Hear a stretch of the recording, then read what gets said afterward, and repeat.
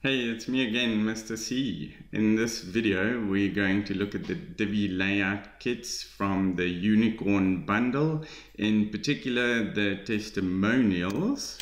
Let me click on that. Let's go and take a look. There we go. We have module 1 to 7.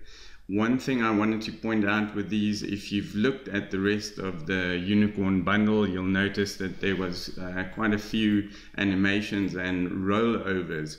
With the testimonials, normally when you display a testimonial on a page, it doesn't link elsewhere to a testimonial like a blog post would, for example. So for that reason, we haven't made it interactive as much because we don't want people to to click on it or roll through and then actually nothing happens. So um, if you go to module 6 of 7 we have made one which you are then able to use to link out to a particular page where there may be a list of testimonials normally it doesn't happen that way but we thought we'd include one for you uh, just to give you that possibility if you wanted it uh, you'll also notice we've got the little star icons here and then we have the inverted comma icons and those come from Font Awesome. Font Awesome we need to add to, to the theme header which I'll show you how to do that.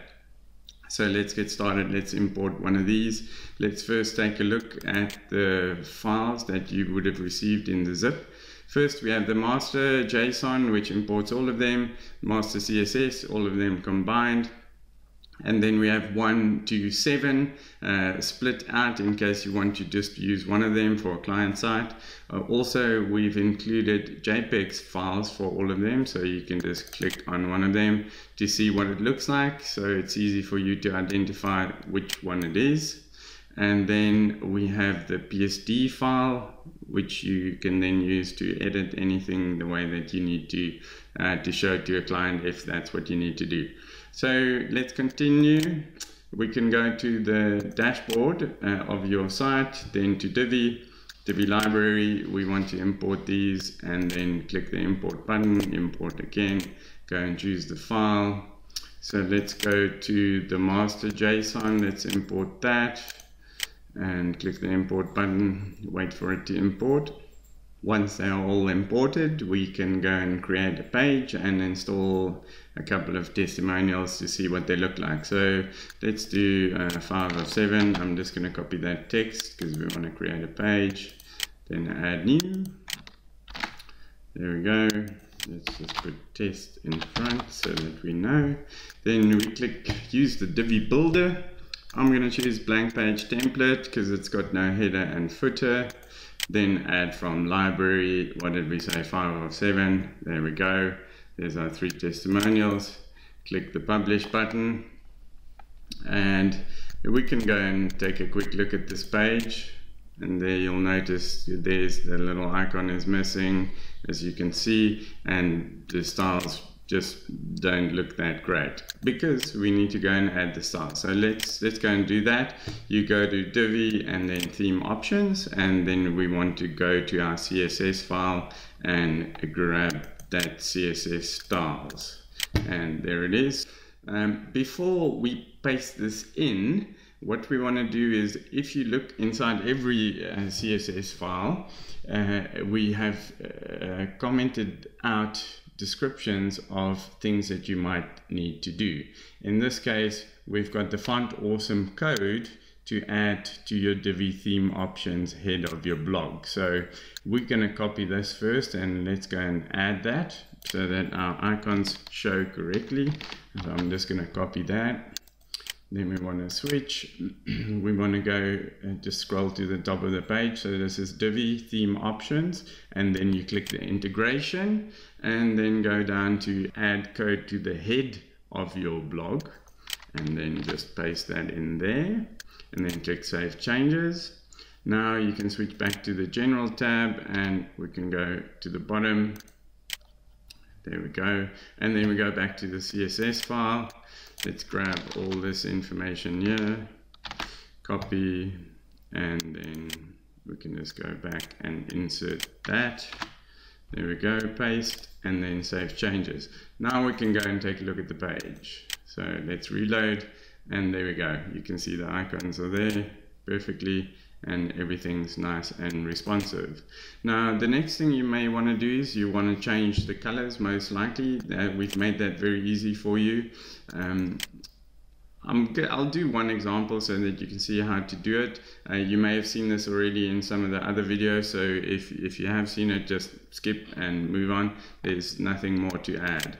Uh, you'll notice inside the comments, we've got the default red color to replace anywhere inside the CSS, and that's hash cc0033. So if we want to change that, we just simply do a find replace in your text editor. Uh, control copy, control find. Uh, then we replace. I already have the Divi purple inserted here. Uh, so we go replace the first one and replace all. And then all of them should be replaced and we'll be good to go. So I'm going to copy that again, Control A, Control C, and then I'm gonna highlight all of that code in the custom CSS and just replace it with the new color that I've added then click save changes then we're gonna go here we'll reload control F5 and in most cases it depends. Uh, it may not be changed as you can see in this case so there's nothing that's changed over there. And uh, so each module is different. So some, some would require you cha to change it in the CSS code. Others would require you to change it in the module. Depends what is easiest or what is most practical for each of those particular modules. So you'll notice in this case it didn't change. So that means we need to go to the edit page and we need to go look at the individual module settings to update them there. So let's click on edit screen here. And then we want to look at content, design, and advanced. I'm just going to go through these quite quickly. Uh, here you can change the image for your client so that there's a nice picture for them. Uh, then we go to design. Here you can see there's the color and we want to change to the Divi purple. So let me switch and grab that quickly. Uh, go to the top. Let's see control find there we go. I've got the Divi purple yeah. copy. And let's just take that away. Control V there we go the colors change. So you just want to scan through all of these quickly and just see in the custom uh, CSS if there's any colors there that's the same as the default red. Ah, there you can see there's one. Oops let me just copy that nicely. You can you can also use the file find and replace inside your browser to find it on this page. So that's normally Control F. You can see it pop up on the right here and then just scan through and do it that way. That's a nice little shortcut. So let's see, there's nothing further here not as far as I can see, then you can save. And so you would go through the rest of the uh, items on each of them and change the colors the way that you need to. So I'm not going to do the rest because that will probably bore you, um, but you know how to do it. So let me hit the update button and then we can go and take a look at the page, view the page, and there you go. You can see this one's nicely changed. Uh, I believe that would wrap up this video. We've showed you how to import the modules. We've showed you how to add the font awesome code so that you can get these nice little um, icons. And then we've showed you how to change the colors.